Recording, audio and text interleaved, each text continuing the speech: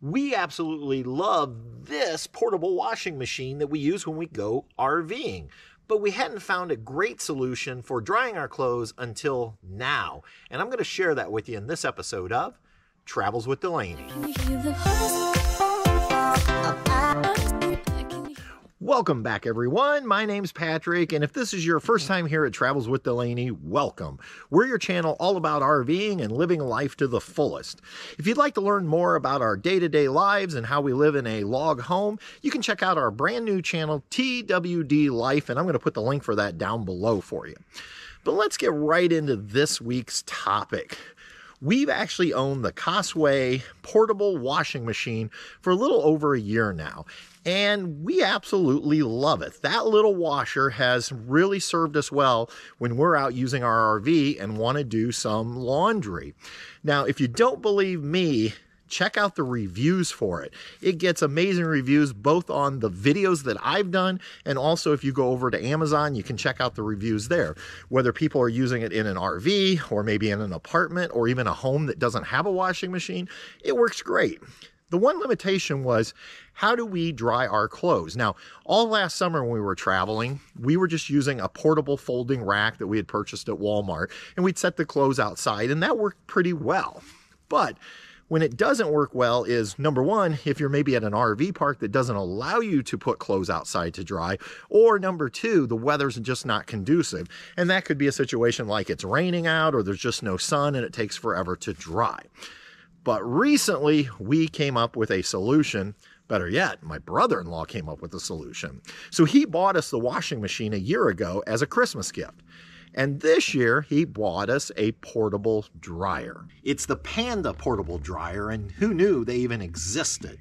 But we already love this particular unit and we think it's going to be perfect this summer when we're out RVing for a couple months. So let's go ahead and take a look at just the outside of the box and you can see it's going to be a pretty simple device and what I really like about it, especially for RVing is it's lightweight. It says it weighs in at about eight and a half pounds. It's also power rated at 900 watts, so it's not going to be a significant draw um, if we're running off of solar. So I like that. And I saved the box because it just makes storing it in an outside storage or in the back of our pickup truck really easy to carry it around in. Now, a lot of people ask us, where do you carry your portable washer when you're traveling? And we actually just put that in the bed of our pickup truck. And you might even notice some of the marks on it. It's kind of taken a beating over the last year plus, but it's held up really well. And so we're hoping we get the same great use out of this dryer that we did or have out of our washer. So let's go ahead and open it up. Now, he purchased this over on Amazon, and I'm pretty sure you can get these for somewhere between 100 and $150. Now, my friend William over at Camper Life, he actually reviewed this unit quite a while ago, and he will tell you it works great for them as well. So you can check that video out. I'll put a link to it. So what you get in the box is, for starters, you get this cover, and we'll hold on to that for a second.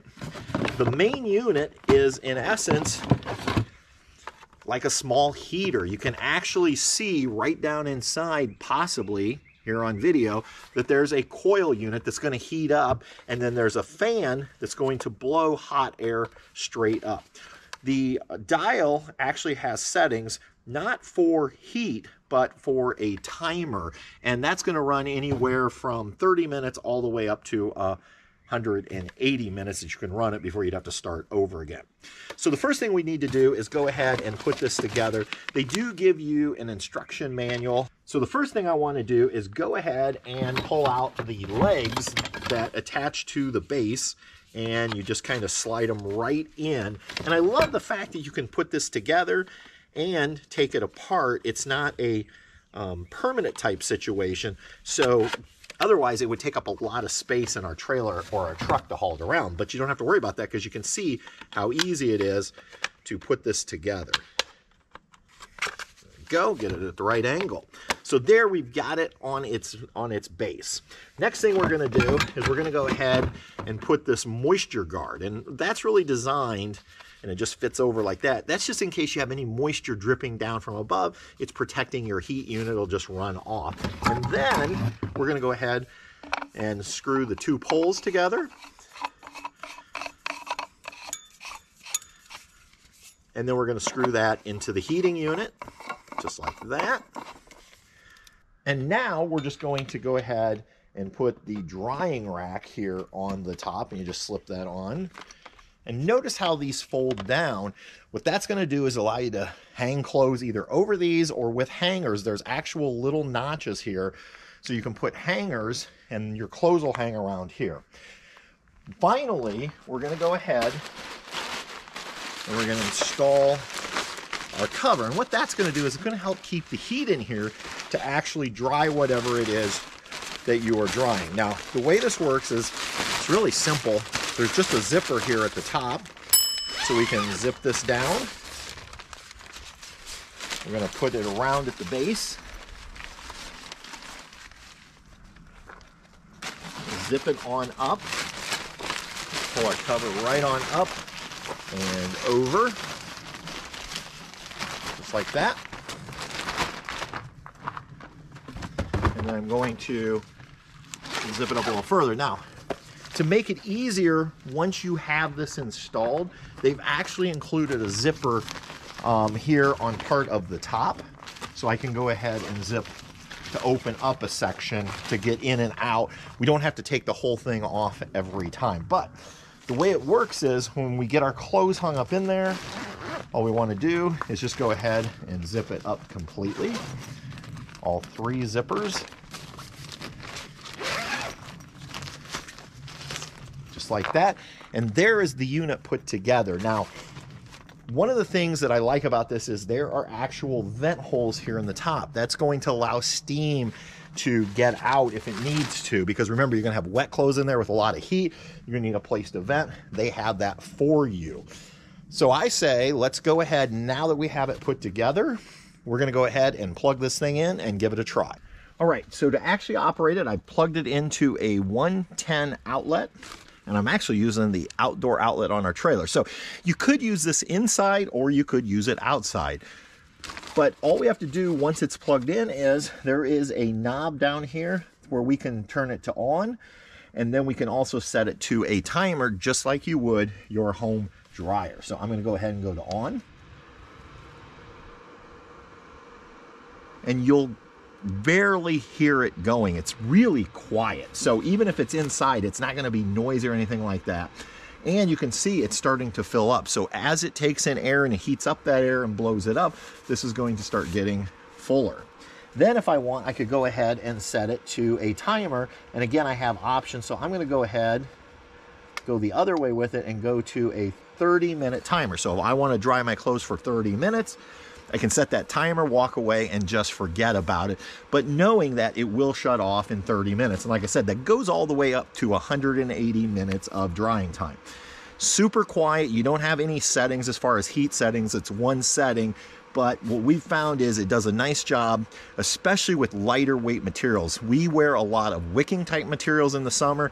This dries them super quick, especially with how dry they come out of our portable washer on the spin out mode. All right, so it's been running for about 10 minutes and I thought what we would do is see if we can get some kind of temperature check on this. And just on the outside, we're at about 85 degrees. But now what I want to do is go to the inside and check it. So let's go ahead and we're going to unzip it. I don't want to unzip too much here. So let's go ahead and we'll just bounce it off of that metal right there. And you can see 117, 115, 117. And then if I point it down at the mode, down at the plastic drip, again, I don't know if this is showing up, but we're at about 118, 120. So there's definitely some good hot air. And again, it's not going to necessarily dry as fast as your home dryer, but it is going to work to help get those clothes dried. Now there's several different ways you could hang clothes in here. And like I mentioned, there's these little notches that you can hang hangers from. So if you wanted to, you could take things like towels and drape them just like this over a hanger, or you could actually just drape it directly on. So let's go ahead and throw a few things in here to just give you a better idea of how much space is actually in our Panda dryer. Gonna throw in a couple short sleeve button up shirts of mine.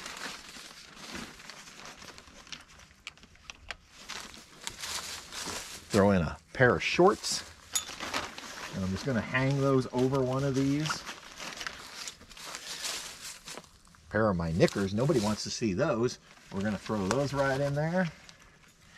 And we even throw in a pair of socks. Now, much more efficient use of space, again, would be to use everything on hangers. But if you didn't have enough hangers, you can see how you can hang things. And there is still space in there. And I've got two shirts, a pair of shorts, a pair of knickers, and a pair of socks, and a hand towel. So definitely can put a lot more in there. And again, all I would do is just zip it back up, just like that. And go ahead and turn it back on and we're back to drying those clothes. Now, I suppose you're wondering, how big is this thing in terms of having it inside your trailer? Well, I'm glad you asked because let's take it on inside so you can get perspective. So now we're in our Lance. I have it set up. It is running. I don't know if you can hear that. It's very quiet, but you can see even with this over here, I have plenty of room to get back to our bathroom we can still use our dinette. Basically, our full trailer is accessible. Now, if you're wondering what size trailer this is, this is the Lance model number 1985, 23 feet from the tongue all the way back to the bumper. So it's not a huge trailer. It does have the slide out, but you can see we have plenty of space even in our 23 foot trailer to use our Panda. Now, one of the things you could do is you may worry about moisture and air, and I think that's fair, but I would just have some windows open and letting it vent out that way. Or if you have a fan, you could set it under a fan and use that fan to draw any heat out. So let's look at the energy usage. So right now, I have nothing running in the trailer. So it's just minimal draw. It's like 1.5 amps, around 38 watts. Let's go ahead and turn on the Panda dryer and we'll see what it jumps to. And there you see it jumps up about a thousand watts and we go up to about 9.1 amps with the dryer running. So no going to be no issues even if we want to run this off of our inverter. We have a 2000 watt inverter in here and we have 200 amp hours of lithium battery. So there's your draw. Let's do one final test for noise just using a app on my iphone. So the app i'm going to use is this one right up here that says db meter. We're just going to open that up. And we're going to hit start. So we're at about 42 to 43 decibels in the trailer. Let's go ahead and turn on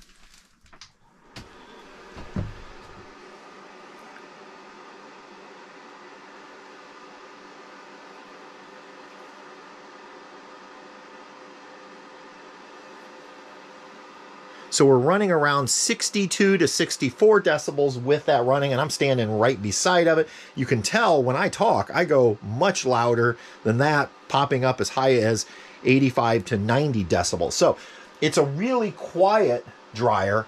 So it's not going to be noisy if you have it inside your trailer or outside your trailer. So there you go. That is our Panda multifunction clothes dryer. It packs up really small. It's lightweight and it's going to do what we need it to do when we're traveling in our RV, and it makes the perfect partner to our portable washing machine. Have any of you ever used this product before? Let me know down below if you have and what your experience has been. Till next time, everyone, we'll see ya on down the road. Good night.